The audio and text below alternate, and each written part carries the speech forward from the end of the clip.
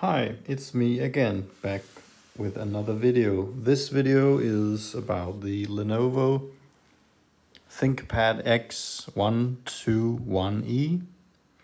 This particular model has a an 8 gigabyte configuration of RAM with an AMD dual core, two threads processor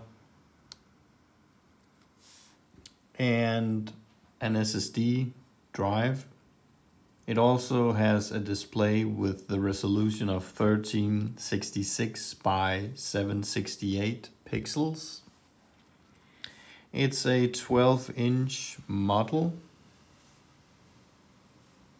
and as you can see here it's fairly thin.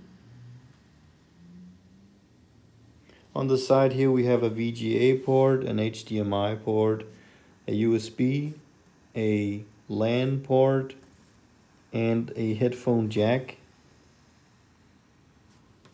On the front, no ports at all.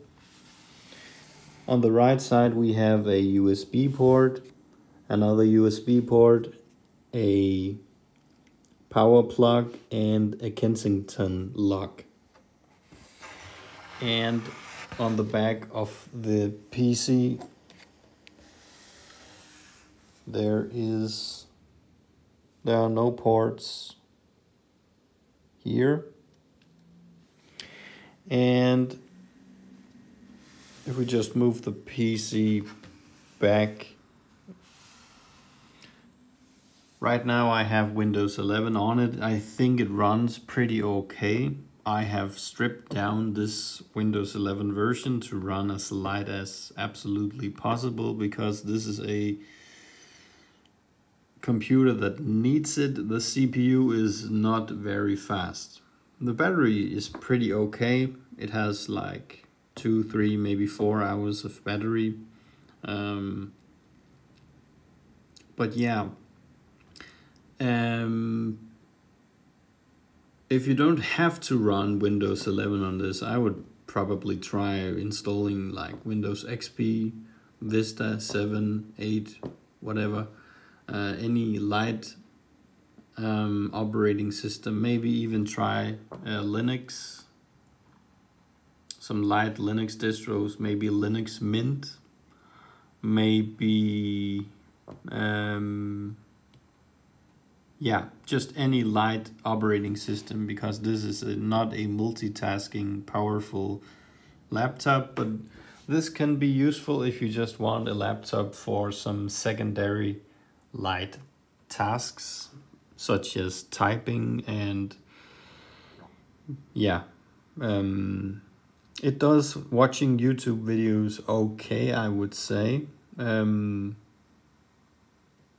on a lower resolution, maybe 480p, uh, 720p, it will probably start lacking a little bit. So just keep that in mind. Maybe you can get some more performance out of the machine by installing another operating system. I think maybe I don't I'm not sure if Windows 11 runs um, gives this machine its best potential because of some driver compatibility. Um, but yeah, I don't know. Let me know in uh, the comment section if you have this computer and what system you have put on it and what uh, what is your general experience? Do you have any like um, issues with it um, performance wise. But yeah, as a retro PC with uh, a lot of old games installed, as you can see here, I have Red Alert, I have Age of Empires, you know, all of those old games, it will just run absolutely without any problems at all. So it also it always depends on what you are trying to do with the machine. I would not recommend using this PC for um, primary uh, work like um, a primary laptop because it's easy to stumble upon uh, tasks that require that require a little bit extra that this machine does not handle. But again, as a secondary PC, doing light tasks, it can probably do uh, a lot of great things. I will try installing Windows XP, you know, just for fun and see how the system will perform with Windows XP drivers. Um,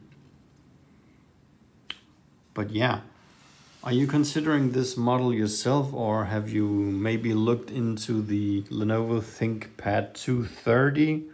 That is also a smaller 12 inch laptop, but that model just comes with um, some faster processors, but also it the price is a little heavier on that model. This model uh, was very cheap. I gave like, I would say $30.